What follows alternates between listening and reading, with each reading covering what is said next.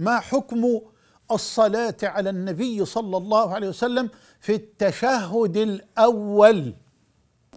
والجواب اختلف العلماء في حكم الصلاة على النبي صلى الله عليه وسلم في التشهد الأول على قولين. القول الأول أو القول الأول وكلاهما يصح لغة. قال أصحاب هذا القول لا يزاد في التشهد الأول على التشهد. يعني يتوقف المصلي عند قوله وأشهد أن محمدا عبده ورسوله ده التشهد الأول. هذا مذهب الجمهور. مذهب الأحناف والمالكية والحنابلة وهو مذهب الإمام الشافعي في القديم وهو قول طائفة من السلف بل وهناك من نقل الإجماع على ذلك. يبقى القول الأول أن التشهد الأول ينتهي عند قولك وأشهد أن محمدا عبده ورسوله. أما الصلاة على النبي صلى الله عليه وسلم في التشهد الأول قالوا لم يثبت عنه صلى الله عليه وسلم أنه كان يفعل ذلك فيه ولم يعلم ذلك للأمة.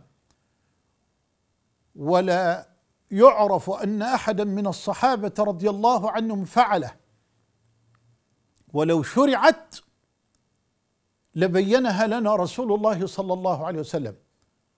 ولو كان ذلك كذلك لما كان هنالك فرق بين التشهد الأول وبين التشهد الأخير.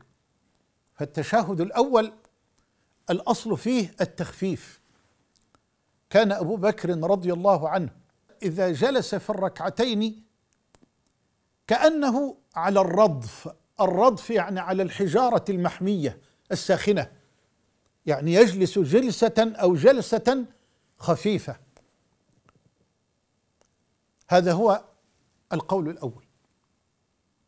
القول الثاني قال أصحابه يستحب يستحب الإتيان بالصلاة على النبي صلى الله عليه وسلم وذكرها بعد التشهد الأول. هذا مذهب الشافعية. واختاره الإمام الأجري والإمام ابن حزم وغيرهما. استدلوا بإيه؟ قالوا لأن الله تبارك وتعالى أمر المؤمنين بالصلاة والسلام على النبي صلى الله عليه وسلم فدل على أنه حيث شرع التسليم شرعت الصلاة عليه. هذا استدلال من يقول باستحباب الصلاة على النبي صلى الله عليه وسلم بعد التشهد الأول.